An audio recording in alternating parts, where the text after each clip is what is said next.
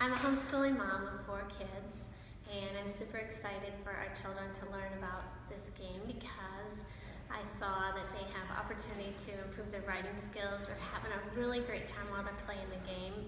They um, build on character and integrity when they're the judge for the game, and there's um, just so many fun things about the game that I saw, and I know that every kid that plays this game will have the opportunity to get super creative and have a lot of fun.